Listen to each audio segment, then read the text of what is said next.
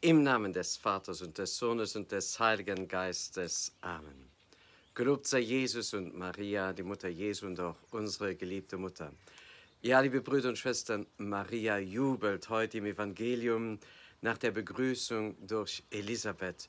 Und sie jubelt darüber und sie sagt, auf die Niedrigkeit seiner Magd hat er geschaut.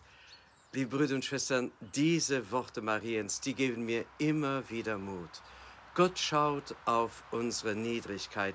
Er vergisst uns nicht, auch wenn wir uns sehr klein fühlen, wenn wir uns vielleicht nicht so groß fühlen, nicht so wichtig fühlen in unserer Gesellschaft, in unserem Leben, wenn wir uns niedergedrückt spüren vielleicht.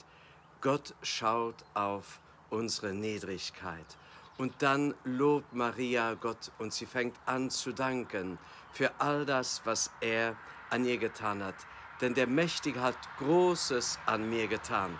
Und das Größte, was Gott an ihr getan hat, ist, dass er ihr seinen Sohn, Jesus Christus, anvertraut hat, damit er unter ihrem Herzen wachse, damit er später auch in ihrem Haus, an ihrer Seite aufwachsen kann, damit Jesus später von Maria begleitet wird bis hin zum Kreuz.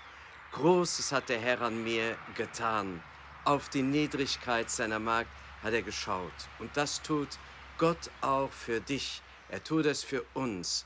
Er schaut auch auf unsere Niedrigkeit.